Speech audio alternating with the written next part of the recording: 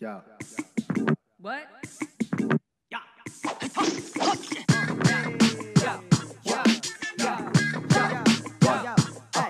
Yeah.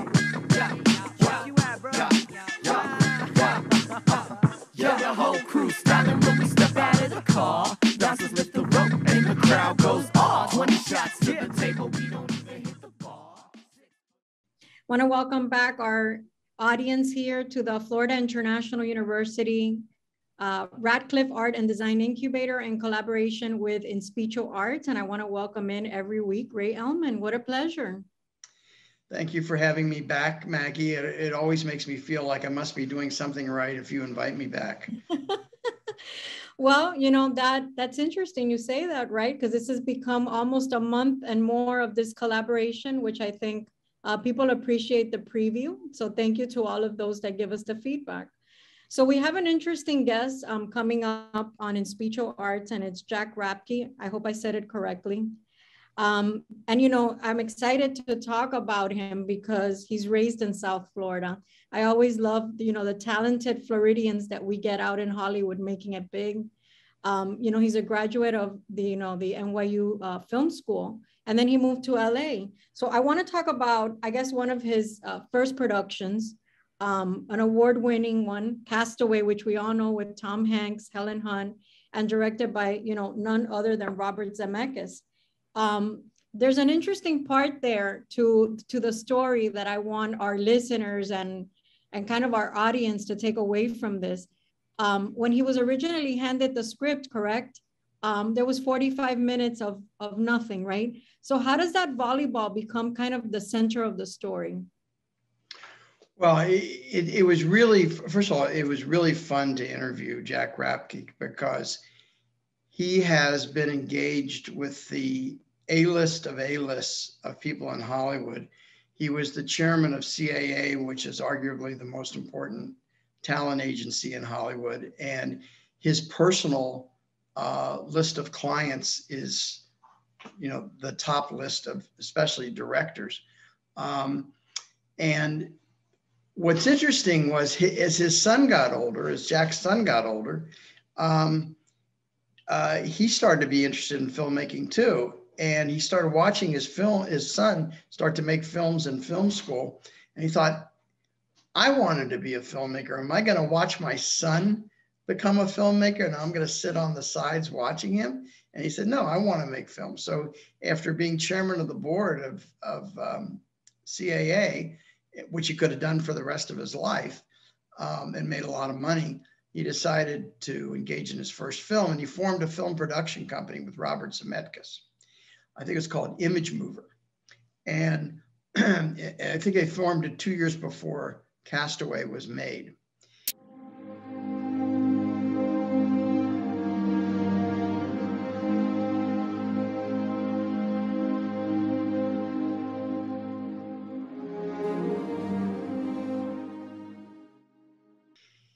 And when they started looking at the script for Castaway, he sees that it's got, you know, as, as I'm sure most of our audience knows, Tom Hanks gets marooned on a, de- a deserted island and he's there for years, I think. Um, he starts off being a little overweight, and by the end of it, he's got this lean, um, almost wild man body.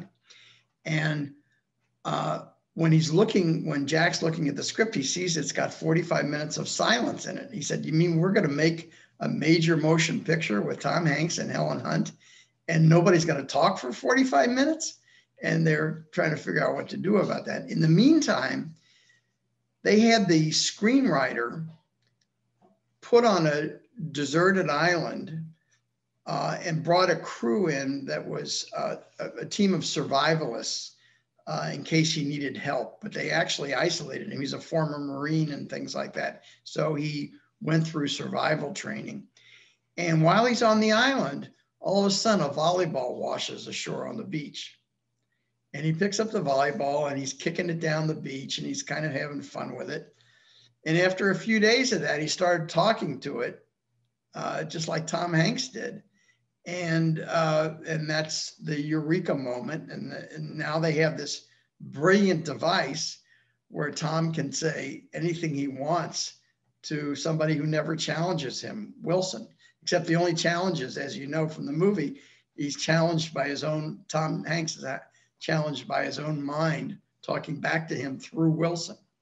So I, I thought that was one of the most brilliant elements of the film that I've really never seen uh, seen that done in any other film before or since. You want to hold many on? things. You want to hold on one second? Yeah. Just one second.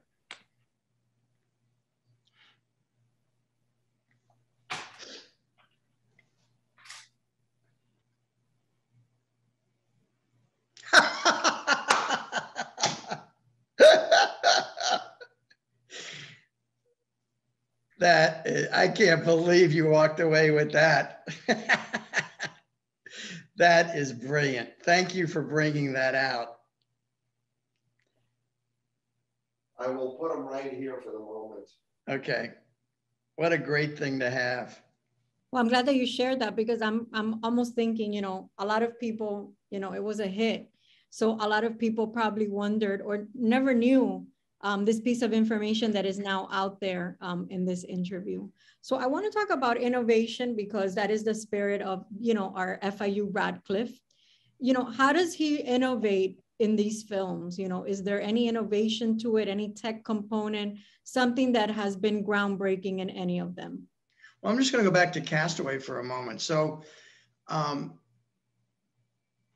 what the question I asked him was when I when I looked up the name of the island where they shot the film, it really Mhm. is a, a deserted a desert island off off of Fiji.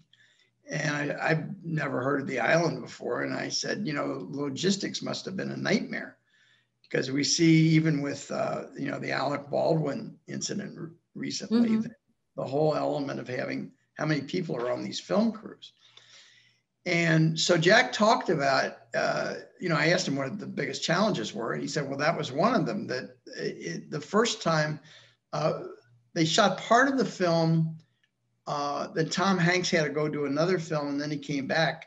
The first time when they were on the desert island, they were staying in Fiji and taking a boat ride, an hour boat ride over to this island every day and an hour back, which clearly wastes a lot of time and money. And sometimes they'd encounter big seas, which tossed all the stuff around. And they had to be really careful with camera crews taking all the equipment off and loading all the equipment back on uh, on the boat. And uh, so that was a logistical nightmare. And what they wound up doing instead was, in, in a sense, hiring a cruise ship that that docked off the island. So they lived on the cruise ship, and then they set up all these um, uh, kind of sheds or, or you know waterproof sheds and and and buildings on the island where they could store store the cameras and things like that, so they didn't have to take it on and off the boat every day. And um, so that was that was that was part of the innovation of how they put that all together.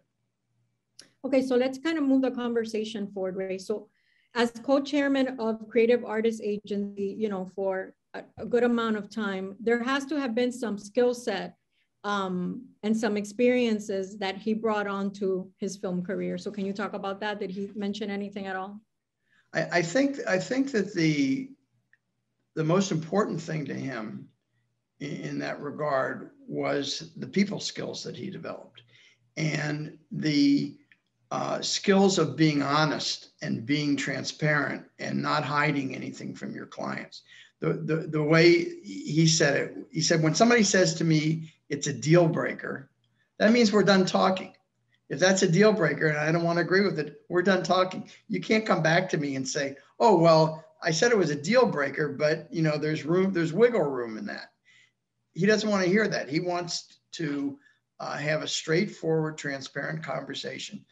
And I, my guess is that's why he had so many A-list clients because they trusted him. And the same thing uh, went for being a film producer. That when you're talking with the crew, when you're talking with the talent, when you know that that people need to know that your word is your bond. And um, and I, I have a friend in the music business who's one of the biggest jazz music agents in the world, and he's got an extraordinary list roster of talent. And I think that's why. It's not because you're going out and having a drink with him every night. You're not his dinner buddy. You're he's somebody that that you trust because his word is his bond. And I think that's been a big part of Jack Rapke's life.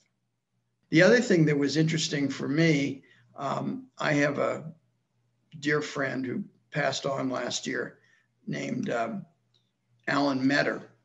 And uh, I've known Alan a long time. Originally, we originally met in Truro on Cape Cod. Um, Alan's biggest hit film was Back to School with Rodney Dangerfield.